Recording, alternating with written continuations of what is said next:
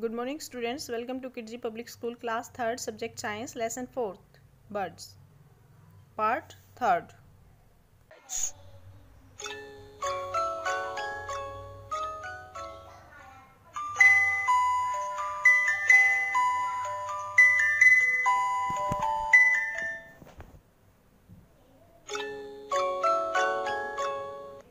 Colonel Uncle and Chintu have come to Sharmaji's nursery to buy some plants. Suddenly, Chintu sees a different kind of nest which is made by sewing leaves together.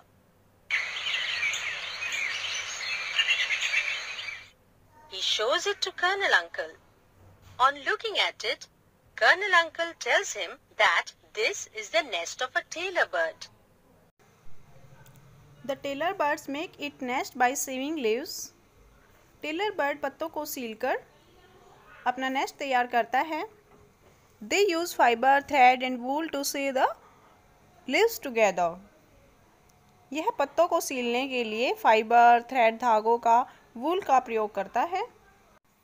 Tailor bird Taylor की तरह काम करता है। जैसे Taylor आपके कपड़ों को सीलता है, इसी तरह से टेलर बर्ड पत्तियों की लीव्स को सीलकर अपना नेस्ट तैयार करता है। Next is woodpecker make it nest by picking into tree trunk with the help of its strong beak woodpecker अपना नेस्ट पेड़ों के तनों को छेद कर बनाता है।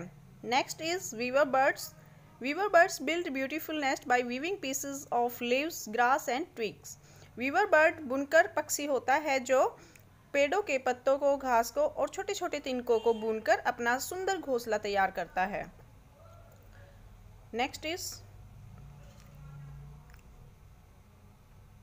some birds make their nest using sticks कुछ ऐसे पक्षी होते हैं जो छोटी छोटी टहनियों या तिनकों से अपना घोंसला तैयार करते हैं।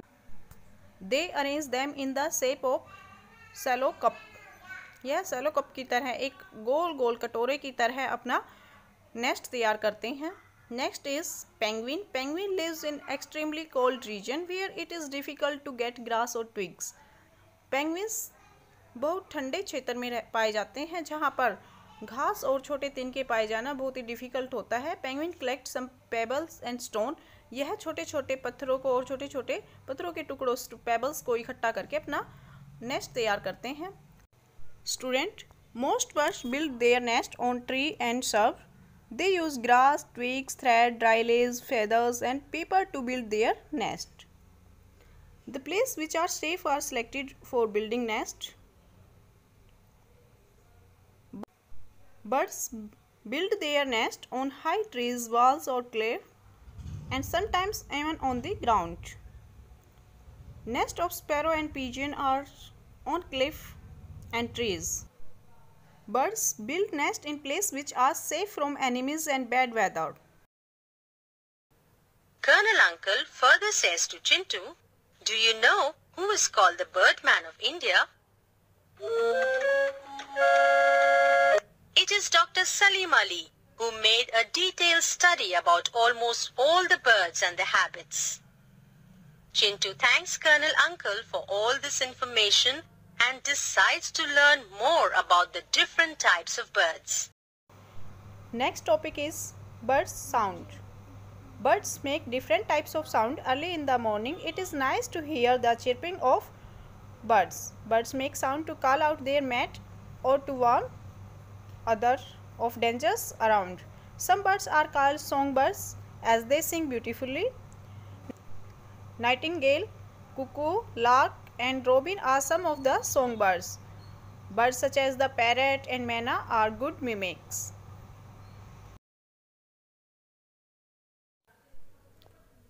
Birds अलग अलग तरह की साउंड प्रोड्यूस करते हैं इन द अर्ली मॉर्निंग सुबह के समय में बर्ड्स की जो चर्पिंग होती है चहचाना होता है, वो बहुत ही अच्छा लगता है। Birds make sound to call out their mate और one other from dangers, of dangers. Birds sound produce करते हैं कि उनके पास जब कोई भी खतरा होता है या अदर अपने जो साथी पक्षी होते हैं, उनको बुलाने के लिए वो साउंड प्रोड्यूस करते हैं। Some birds are called song birds. कुछ पक्षी सॉन्ग बर्ड्स कहलाते हैं क्योंकि वो अच्छा वॉइस प्रोड्यूस करते हैं, अच्छी साउंड प्रोड्यूस करते हैं। कुछ बर्ड्स को सॉन्ग बर्ड्स कहा जाता है, जैसे nightingale cuckoo, lark and robin. ये सब, सभी ऐसे बर्ड्स हैं जो सॉन्ग की तरह साउंड प्रोड्यूस करते हैं। Birds such as parrot and myna are good mimics. Parrot और मैना कुछ ऐसे बर्ड्स होते हैं जो मजाकिया ढंग से साउंड प्रोड्यूस करते हैं, जैसे मिमिक्री करते हैं ना बिल्कुल वैसे ही ये साउंड प्रोड्यूस करते हैं। स्टूडेंट्स इस टॉपिक के साथ ही हमारा चैप्टर फिनिश होता है। मुझे लगता है कि ये चैप्टर आपको अच्छे से समझ आ गया होगा। Thank you